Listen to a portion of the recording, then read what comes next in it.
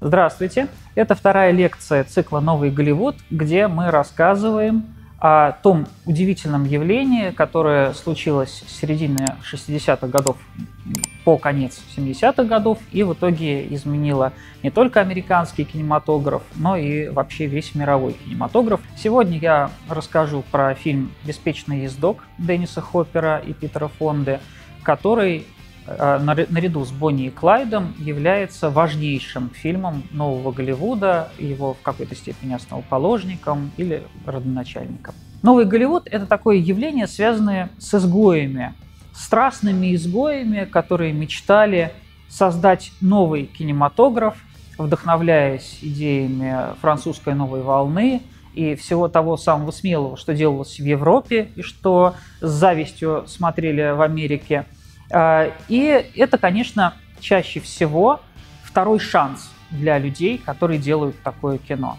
Э, Деннис Хоппер, режиссер «Беспечного ездока», вообще-то начал свою кинокарьеру в середине 50-х годов. Он снимался вместе с Джеймсом Дином, которого безумно любил, и Джеймс Дин навсегда для него остался идеалом актера и человека. Над этим даже посмеивались иногда когда хотели, чтобы он от какой-то идеи отказался, им говорили, Джимми бы это не понравилось. И он говорил, да-да-да, все-все-все, я не буду это делать. Человек, который, по идее, должен был быть к концу 60-х годов, а «Беспечный издок» вышел в 69 году, а, он должен был быть суперзвездой. Но этого не произошло, потому что Деннис Хоппер а, вел себя как панк, хиппи, наркоман и алкоголик.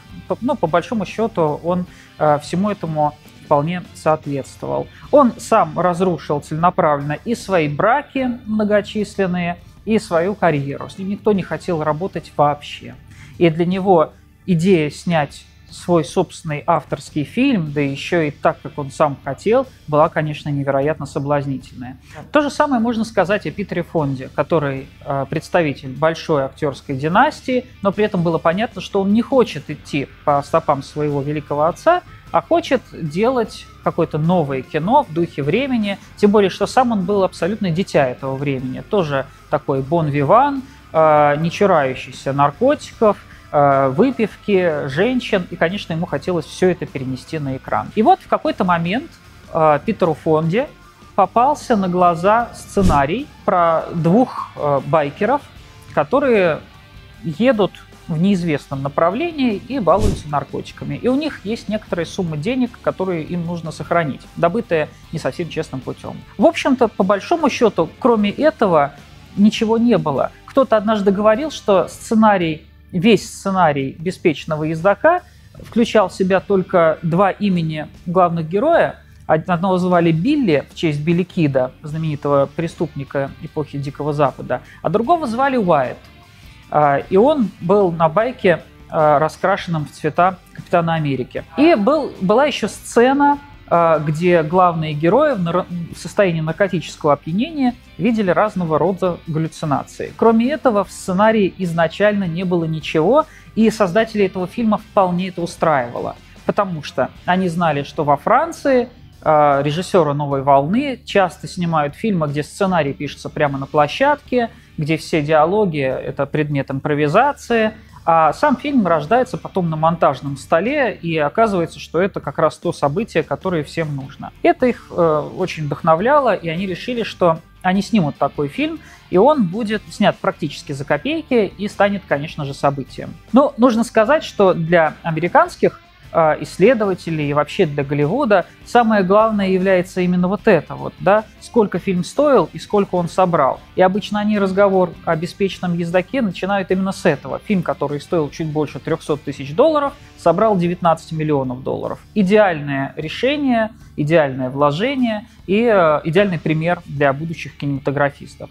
Для нас это имеет меньшее значение, потому что кассовые сборы э, уходят, а остается память, а мы сегодня об этом фильме вспоминаем не потому, сколько он собрал, а потому, что он стал э, фильмом феноменом, фильм, фильмом общественным явлением. Некоторые считают, что это потому, что он был о байкерах. Это не так. Дело в том, что Питер Фонда зацепился за этот фильм, потому что сам он к этому моменту снялся уже в нескольких байкерских фильмах, которые не имели прям совсем уж широкого успеха, но некоторые были довольно популярны, как, например, «Дикие ангелы», в которых он сыграл главную роль вместе с Брюсом Дерном. И ему хотелось снять не просто фильм о байкерах, ему хотелось снять фильм о людях его времени – о людях, которые отрастили длинные волосы, какие были у него и у Хоппера, о людях, которые употребляют наркотики и не стесняются этого, о людях, которые не желают ничего слышать о войне во Вьетнаме.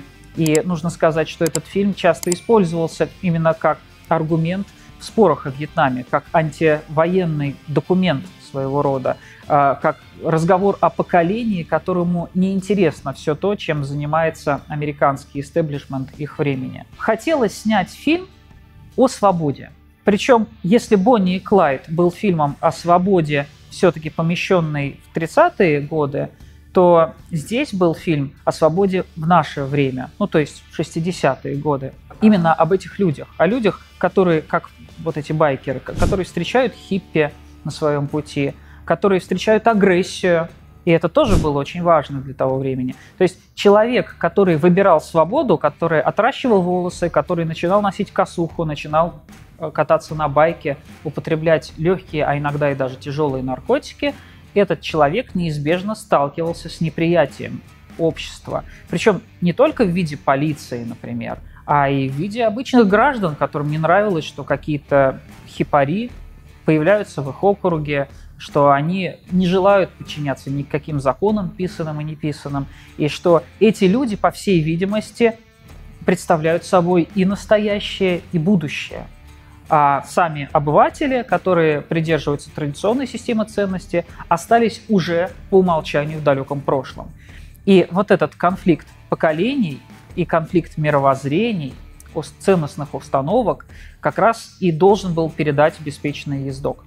Очень хорошо, что Деннис Хоппер и Питер Фонда отказались от построения традиционного сценария как истории о том, как двое парней получили криминальным путем некий финансовый э, бонус, и как они пытаются с этим бонусом куда-то пробиться, э, как-то реализоваться, э, что, что они в конечном итоге попадают в те или иные обстоятельства, и потом эти обстоятельства их выруливают к кульминации и к той или иной развязке.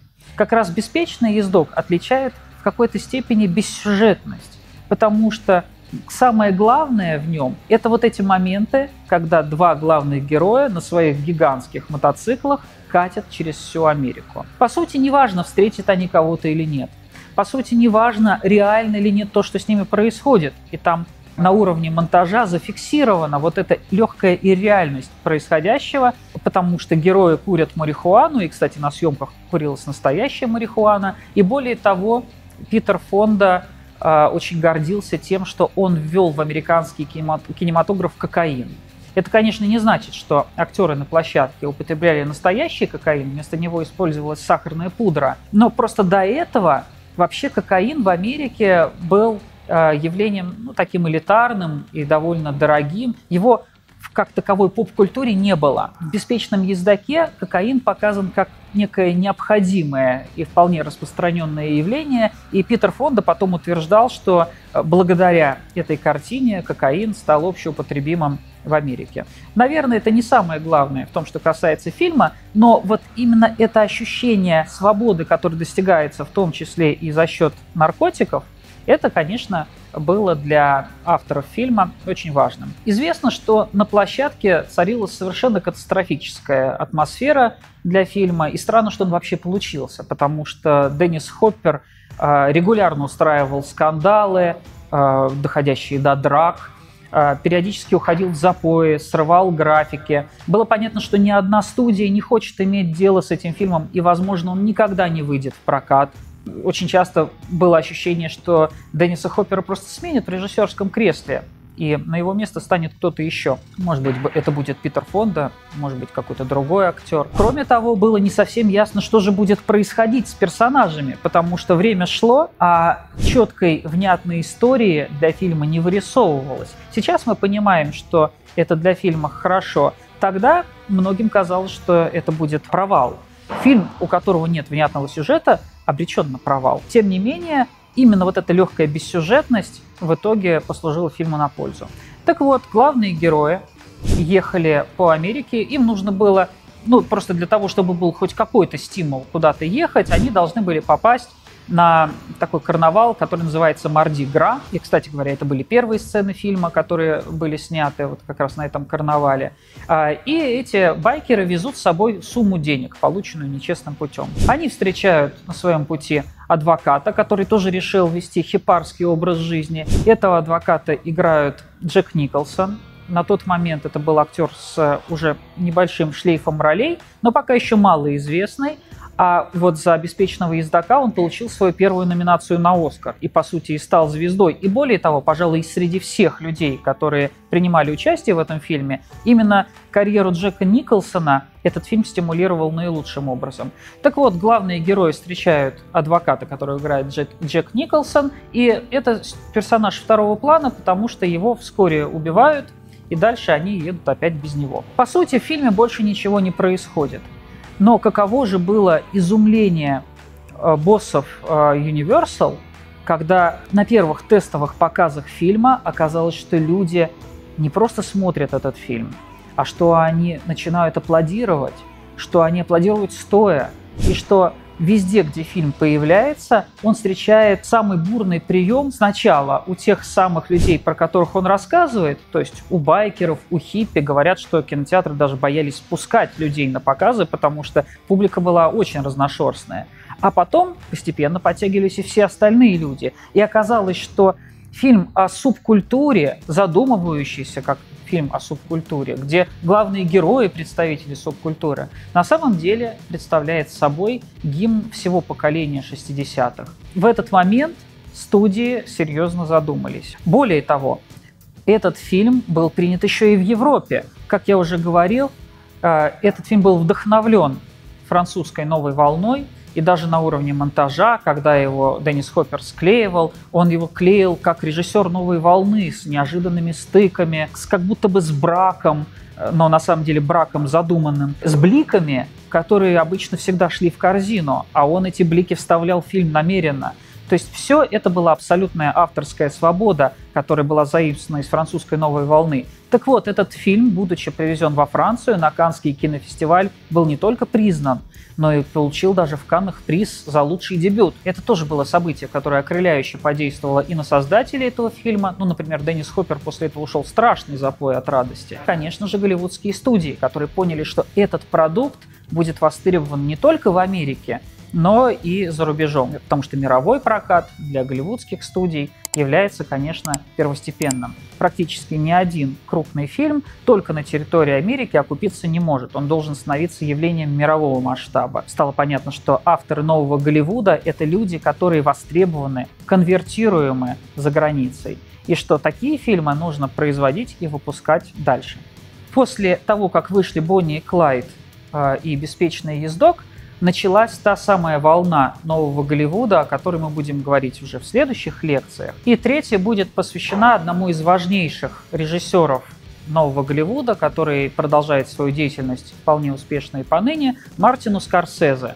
И его самым выдающимся фильмом «Злые улицы», «Таксист» и «Бешеный бык».